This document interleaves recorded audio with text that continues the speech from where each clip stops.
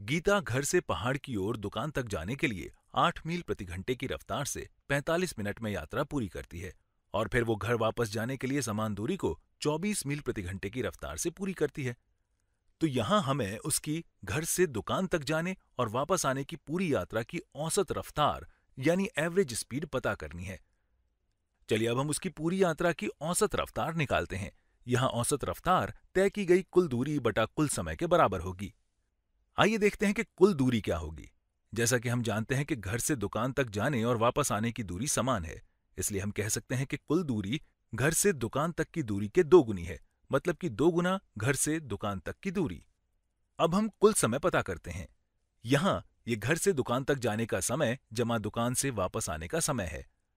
अब हम जानते हैं कि घर से दुकान तक की दूरी और दुकान से वापस आने की दूरी समान है, इसलिए मैंने इसे कुल दूरी कहा है, जो घर से दुकान तक की दूरी की दोगुनी है? यहाँ हमारे पास अलग अलग समय है मतलब कि घर से दुकान तक का समय और दुकान से वापस घर आने का समय दोनों अलग हैं। आइए देखते हैं कि यह हमें कैसे पता है। वो अलग अलग रफ्तार से चली मतलब कि उसकी दुकान जाने की रफ्तार वापस आने की रफ्तार से कम थी। इसलिए उसने वापस घर आने से ज़्यादा समय जाने में लिया होगा। तो हम इसे किस तरह कर सकते हैं? हम ये जानते हैं कि दुकान तक की दूरी कैसे निकालते हैं।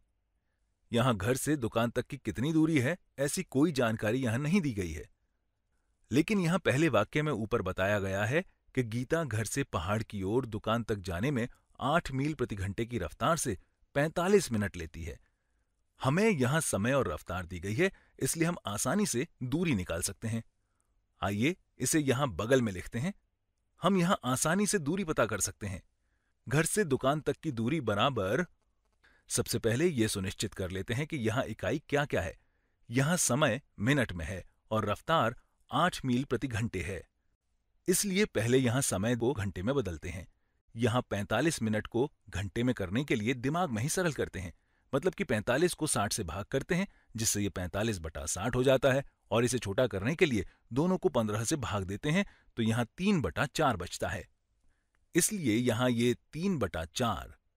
अब हम इसमें घर से दुकान तक जाने की औसत रफ्तार, जो कि आठ मील प्रति घंटा है, से गुणा करते हैं। तो घर से दुकान तक की दूरी कितनी है? अब यहाँ हमारे पास तीन बटा चार गुणा आठ है, या हम इसे ऐसे भी कह सकते हैं कि तीन बटा चार गुणा आठ बटा एक है, जो कि चौबीस बटा चार होगा। तो यहाँ ये चौबीस बटा चार है, जो कि छह के बराबर होगा। अब अगर इकाई यानी यूनिट को देखते हैं तो हमारे पास सिर्फ़ मील बचा हुआ है, इसलिए दुकान तक की दूरी छह मील है। यहाँ ये दो गुना दुकान तक की दूरी बराबर बारह मील है मतलब कि गीता द्वारा तय की गई कुल दूरी बारह मील है। आइए अब देखते हैं कि दुकान तक जाने में लगा समय क्या है। यहाँ हमें पहले से बताया गया है कि यह 45 मिनट है।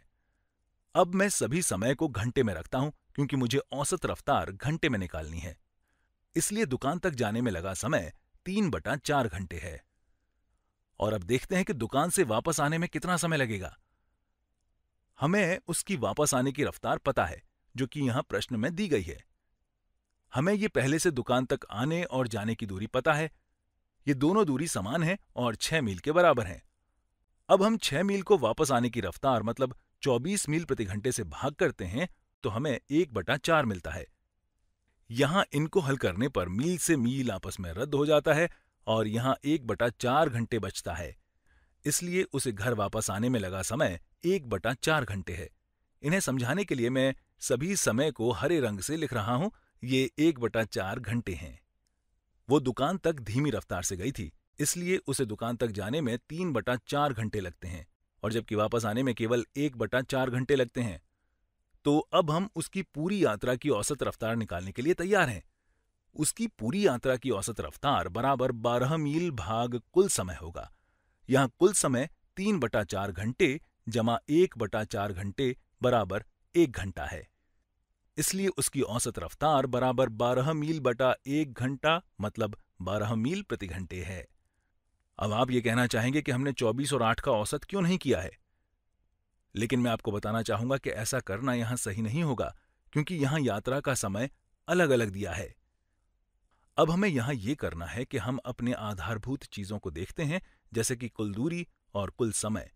यहाँ पर ये पहले वाक्य से हमें कुल दूरी का आधा मिलता है, या कह सकते हैं कि दुकान तक जाने की दूरी मिलती है।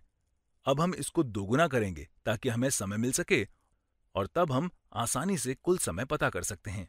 यहाँ हमें दुकान तक का समय पता है इसलिए इनका उपयोग करते हुए हम दुकान से घर तक की दूरी निकाल सकते हैं और फिर उसकी चाल निकालने के लिए हम समय निकाल सकते हैं। इस तरह हमें कुल दूरी भाग कुल समय मिलता है, जो कि 12 मील प्रति घंटे है।